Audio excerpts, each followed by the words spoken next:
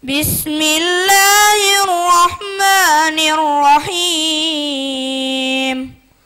الرحمن علم القرآن خلق الإنسان علمه البيان الشمس والقمر بحسبان والنجم والشجر يسجدان والسماء رفعها ووضع الميزان ألا تطغوا في الميزان وأقيموا الوزن بالقسط ولا تخسروا الميزان والله وضعها للأنام فيها فاكهة والنقل ذات الأكمام والحب ذو العسف والريحان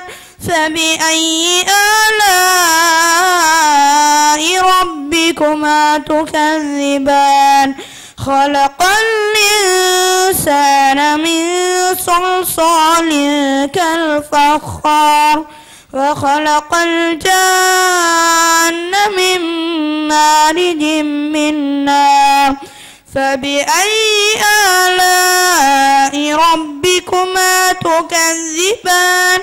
رب المشرقين ورب المغربين. فبأي آلاء ربكما تكذبان؟ صدق الله العظيم.